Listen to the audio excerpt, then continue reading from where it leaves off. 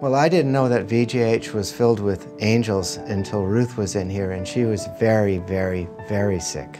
What started out as a cold became pneumonia and then became a trip to VGH. And before I knew it, she was in ICU, unconscious and on life support, fighting for her life.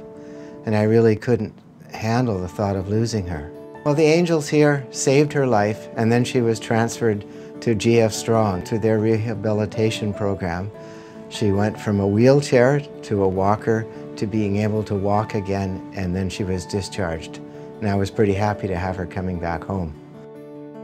I hope that anybody who's been here at Vancouver General or GF Strong, and they have an angel, there were so many angels that helped me, will make a donation to the Angel Campaign.